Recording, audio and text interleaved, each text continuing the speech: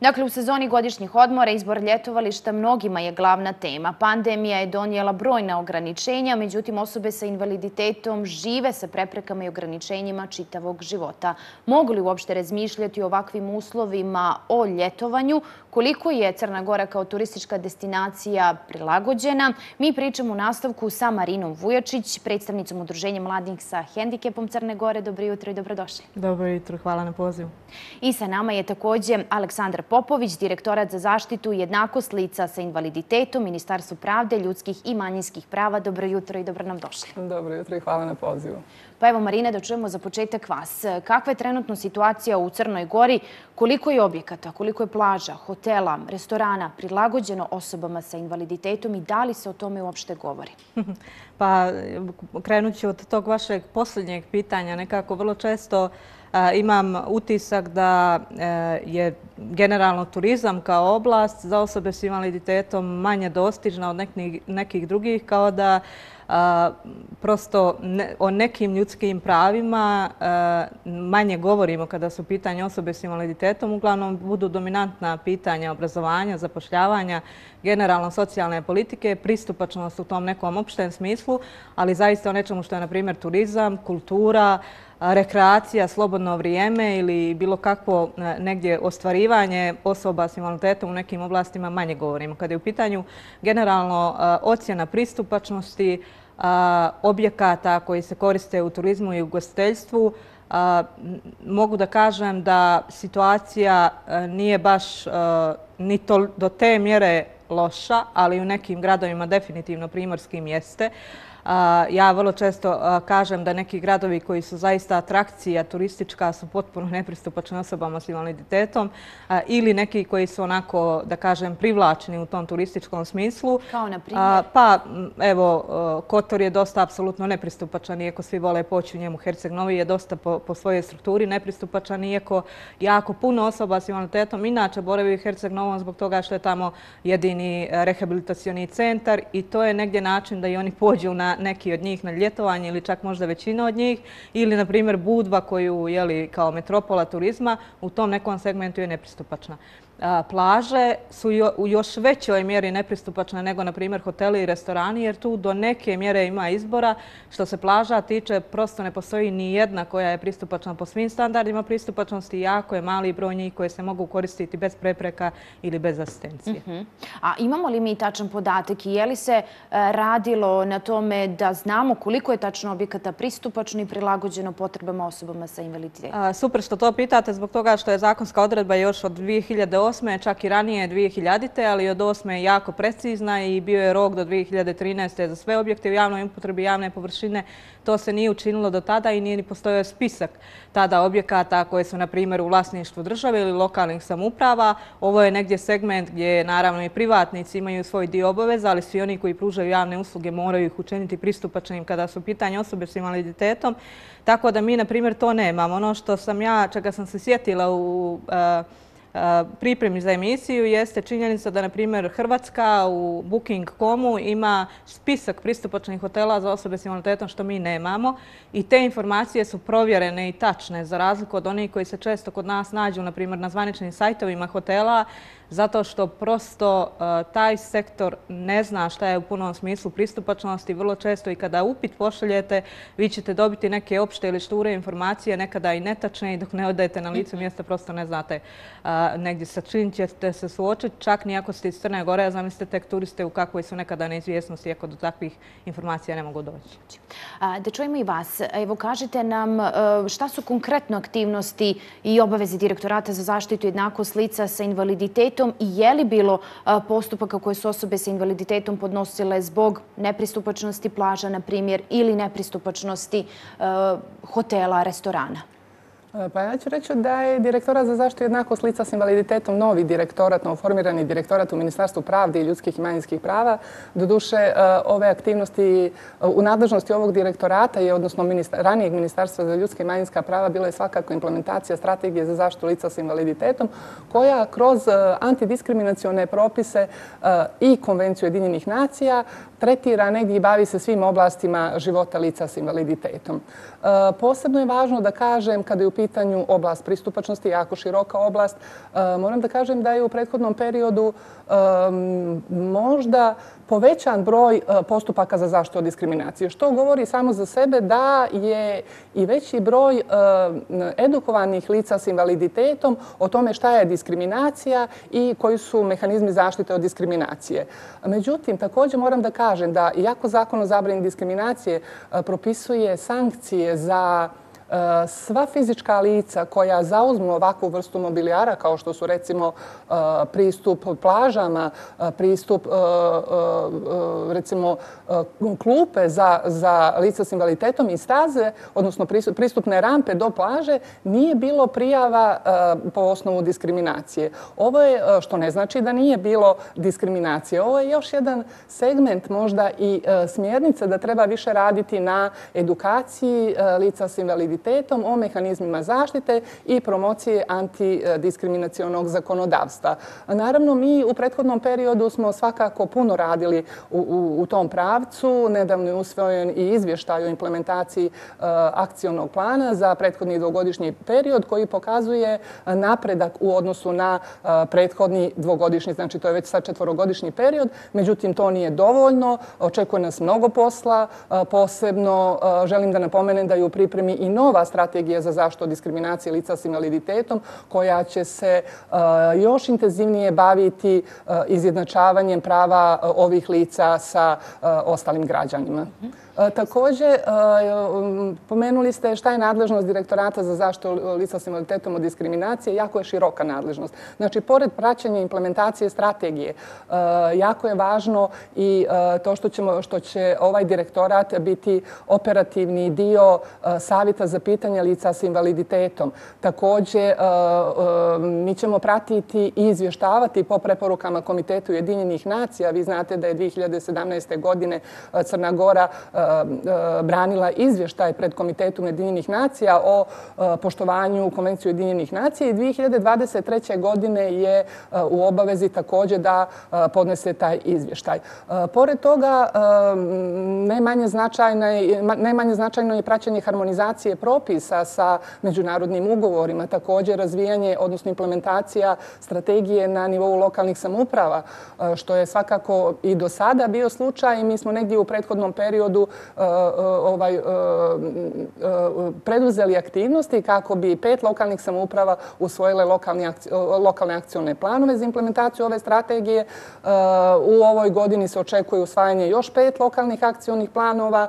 takođe razvijanje saradnje sa nevladinim organizacijama kao najbitnijeg partnera u cijelom procesu, ali i razvijanje međuresorne, međuresorske saradnje je jako važan segment u cijelom tom procesu. Znači, bez zajedničke saradnje, partnera, partnerstva sa svim institucijama sistema, uključujući medije, ne može se e, postići smanjenje diskriminacije lica s invaliditetom. A kako vi trenutno ocjenjujete stanje kada je riječ upravo o ovom pitanju? Koliko je Crna Gora kao turistička destinacija prilagođena osobama sa invaliditetom? Pa e, ja ću konstatovati da je e, puno toga urađeno u prethodnom periodu, ali ne i dovoljno. Znači, kao što sam već i rekla, e, puno posla je pred nama. Vi ste svjesni da postoje pristupačni hoteli, da postoje, da kad je u pitanju vjerski turizam, sve više vjerskih objekata je učinjeno pristupačni za lica sa invaliditetom, da određeni restorani jesu u pojedinim segmentima pristupačnosti, ali to nije dovoljno. Nije dovoljno i sa stanovišta poštovanja ljudskih prava, sa stanovišta stanovišta e, poštovanje poštovanja ljudskih prava svih vrsta invaliditeta. Recimo, ukoliko je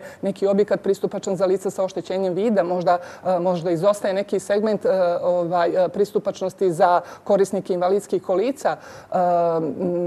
Moram da kažem da je u prethodnom periodu rađeno dosta na harmonizaciji, a da će u narednom periodu, pored te harmonizacije, svakako veliki akcenat biti i na implementaciju propisa u Crnoj Gori. Mhm.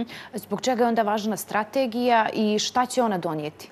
Eh, strategija je važna. Eh, vi znate da eh, da Crna Gora prati međunarodne obaveze, međunarodne ugovori i strategija je upravo važna iz tog segmenta jer će ovaj, sa razloga što će nastaviti kontinuitet sa još jednom, da kažem, aktivnijom i i, i naprednijom formulacijom, odnosno definisanje mjera i aktivnosti koje će dovesti do poštovanja prava lica s invaliditetom. Ovdje želim posebno da da skrenem pažnju i na na e, posebne segmente kao što je diskriminacija žena i djevojčica s invaliditetom, diskriminacija e, djece i lica sa intelektualnim e, invaliditetom. Također, u posebnom fokusu će biti višestruka diskriminacija. Znači, to su oni segmenti koji su možda u prethodnom prethodnom periodu ili su bili nedovoljni ili nisu bili dovoljno, da kažem, razrađeni, ali će u narednom periodu, pored svih ovih oblasti na kojima će se intenzivnije raditi, u kojima će se intenzivnije raditi na implementacije,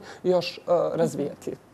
Marina, kada govorimo o određenim preprekama i ograničenjima, kada je riječ o brošurama koje su prisutne u turističkim agencijama, u hotelima, koliko su one prilagođene osobama sa invaliditetom i da li postoji saradnja koliko su zainteresovani ugostitelji, radnici u turističkim agencijama da sarađuju i koliko je važan taj njihov stav? Pa opet ću krenuti od zadnjeg zato što, što mislim da je to najvažnije. Generalno, ja vrlo često kažem da u stvari od stava i od odnosa prema nekom fenomenu mi imamo i politike i praksu zbog toga što smo i politike kreirali u odnosu na ta naša ubjeđenja i u praksi se ponašamo bilo da nešto činimo ili ne činimo na osnovu toga kako nam je uvjerenje. Ako još iz tog segmenta izostaje negdje odgovornost i zakonska sankcija, odnosno odgovornost institucija da pristupe e, tom pitanju negdje e, e, ozbiljnije u smislu da ukoliko ne postoji e, dobrovoljnost, da tako kažem, u primjeni zakonama, da bismo svi trebali biti odgovorni, prosto se znaju šta su obaveze, da i one budu mnogo odlučnije u smislu sankcija, odnosno ono, onog drugog segmenta kako bi i na kraju krajeva se represivnim mjerama u tom smislu radilo. Kad su u pitanju agencije, mi imamo, na primjer, kao udruženje mladih sa hendikepom Crne Gore saradnju sa nekim od njih, a ti upici se uglavnom odnose na to da se organizuje pristupačan prevoz za turiste e, koji dolaze u Crnu Goru, koji su osobe s invaliditetom i e, hoću da kažem da u stvari ne postoji negdje ta sistemska saradnja ili ova i međusektorska o kojoj govori e, Aleksandra, zbog toga što mislim da bi to moralo da bude koordinacija nacionalne turističke organizacije koja u tom segmentu mora da ima mnogo veće aktivnosti. Ja ne znam da ih uopšte ima iskreno ukoliko ima, voljela bih da ih promoviše, prosto i da budu onda mnogo zvaničnije. Ono što negdje postoji, to su izolovani pozitivni primjeri o kojima mi teško možemo govoriti kao o nečemu ustaljenom. Pošto je bilo prije pitanje, moram se vratiti na to zaista jer je važno o tome šta je nadležnost direktorata. Ja moram da kažem da u ovom segmentu i tekako ogromnu nadležnost trenutnoj organizaciji državne uprave ima Ministarstvo ekonomskog razvoja i Ministarstvo ekologije i prostornog planiranja i urbanizma kao dva ključna resora za oblast turizma i pristupačnosti povezano. E, I e, pošto e, je opet bilo riječi i o žalbama, odnosno negdje tužbama ili bilo čemu, mi smo imali jako puno prigovora upravo od osoba s invaliditetom da ne mogu pristupiti plažama i da i onom segmentu gdje je, na primjer, u prethodnom periodu Morsko dobro izgrađivalo određene pristupe rampe, to nije uradilo u skladu sa standardima pristupačnosti od kvalitetnog materijala, bezbjedno i imali smo već neka ulaganja koja su apsolutno da kažem, otišla u nešto što nema svrhu i što nije moglo da se koristi dugo. I skoro smo imali jedan od priloga koji je kružio i društvenim mrežama, pa su i neki lokalni portali, na primjer u Budvi, prenijeli za slovensku plažu gdje je rampa potpuno uništena zbog toga što ima i ovog segmenta o kom je govorila Aleksandra da se mobilijar uništava od strane drugih građana koji opet, vraćamo se na ovo, nemaju adekvatno stanje informisanosti i negdje svijesti i svjesnosti o tome čemu služi taj prostor, a to se dešava zato što su osobe s invaliditetom u nekim oblastima i dalje nevidljive.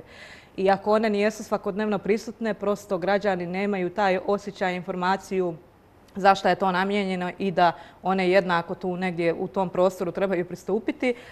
I kada je u pitanju da se vratim, pošto je također vrlo važno na taj segment, pošto je Aleksandar govorila o nekim segmentima pristupačnosti koji jesu ispoštovani, dok nekih standarda nema, kad sam pomenula da se u restorane ili hotele može ući, to su uglavnom hoteli konkretno koji su negdje ekskluzivni i skuplji kada je u pitanju upravo to, kada je u pitanju pristupačnosti. Pa oni uglavnom jesu, ali onda je pitanje ekonomske da li mi u stvari naš standard može zadovoljiti to da mi pođemo u pristupačan hotel, A opet, ukoliko se ide u neko nepristupačno okruženje, tu apsolutno većini osoba s invaliditetom treba asistencija, koju mnogi od njih opet iz sobstvenih izbora pokrivaju, da ne kažem da nam i lokalni saobraćaj nije pristupačan i da prosto neko mora da se organizuje u tom segmentu, znači opet i nadležnost još resora i nešto što je pitanje koje e, bez jednog prava ne možete govoriti o drugom.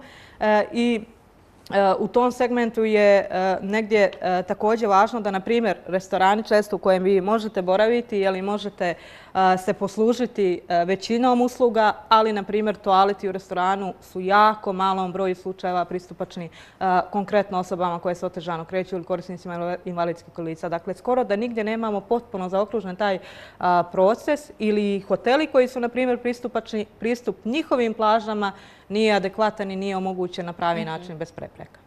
E sad, pošto je ovo jedna jako važna tema, sigurno ćemo se e, njome baviti, ali eto za kraj da vas e, pitam e, da sumiramo. Šta onda uraditi, od čega početi? Da čujemo vas, pa vas, Marina.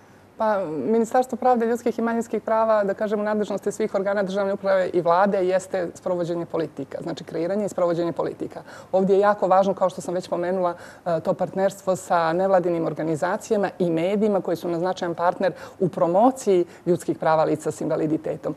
E, mi ćemo svakako preduzeti i kroz razvijanje nove strategije, ali i kroz implementaciju aktivnosti e, za, za sprovođenje te strategije, preduzeti mjere koje će doprinijeti i smanjenju diskriminacije lica s invaliditetom. E, ja ću reći da, e, eto, e, sjetila sam se da, iako postoji diskriminacija lica s invaliditetom, nešto što je, što je evidentno i nešto što je činjenica jeste da u odnosu na prethodni period istraživanja su pokazala da se smanjio stepen socijalne distance u odnosu na ovu ciljnu grupu, što je svakako jedan iskorak u odnosu na prethodni period. Također, svi zajednički znači, moramo raditi na poštovanju prava lica s invaliditetom pristupu edukaciji, osviješćenosti i preduzimanju aktivnosti svako i svoje nadležnosti. Mhm. Marina, i samo nam kažete još koliko se brzo odgovara na žalbe koje uputite vezano za ova pitanja?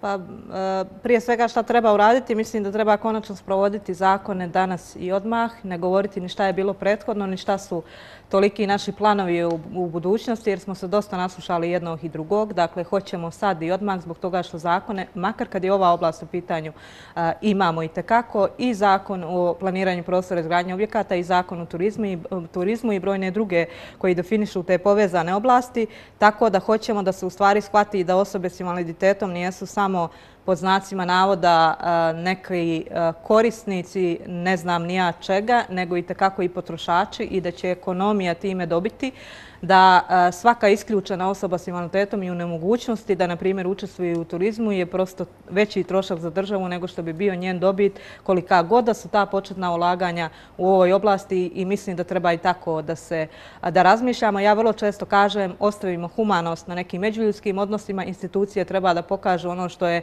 odgovornost za sprovođenje zakona, da se one ne pozivaju na to kako trebamo biti senzibilisani i humani, nego trebamo biti odgovorni i neka država slobodno što se naša nas tiče, razmišlja i tom ekonomskom aspektu šta je za nju jeftinije u dugoročnom smislu, vjerujte mi da će i kao mnoge e, druge, na primjer evropske ili svjetske, razumjeti da ulaganje u pristupačnost i održivi razvoj samo donosi dobrobit cijelom društvu, nikako trošak za državu i za društvo. Što se tiče Posljednjeg pitanja, podsjetite mi, izvinite. Koliko se brzo odgovara na žalbu? Zavisi od institucije do institucije, zavisi kome se obratite, zavisi od nadležnosti. Vi, na primjer, ako se obratite zaštitniku ljudskih prava i sloboda, on mora sprovesti ispitni postupak, što u nekom trenutku mora naravno i trajati i podrazumijeva negdje trajanje. Ono što je važno jeste da je zaštitnik i tekako pojačao u tom segmentu aktivnosti, u smislu da je mnogo i vidljiviji kao institucija i mnogo djelotvorniji. Međutim, mislim da država mora ozbiljnije da ga shvati kada je u pitanju sprovođenje preporuka i to nam negdje govori o sistemu i o tome koliko on stvari uopšte e, suštinski razumije ljudska prava i zaštitu diskriminacije. Kada su u pitanju sudovi, ja moram da kažem da je pravda spora, ali je dostižna u ovom segmentu jer za pristupačnost je sudska praksa toliko odavno utvrđena i jasna da prosto mislim da se nikom ni u tom segmentu ne isplati da bude predmet tuženja, odnosno da se na takav način mi borimo za ova ili bilo koja na kraju krajeva druga ljudska prava. Hvala najljepše što ste izdvojili vrijeme da budete naša gošća. Kažem, bavit ćemo s ovom temom još. Hvala vam mnogo.